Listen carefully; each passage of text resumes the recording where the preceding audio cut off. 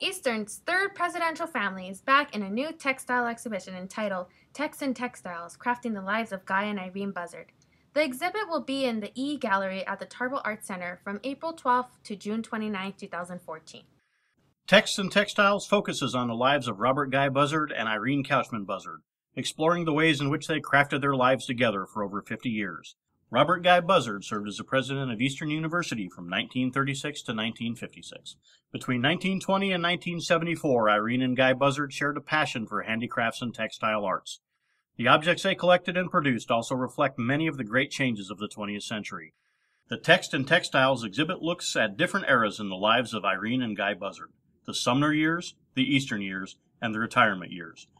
The exhibit highlights the written and crafting traditions of Guy and Irene Buzzard, drawing on materials from the Buzzard Textile Collection within the Tarble Art Center and from the EIU archives and Booth Library.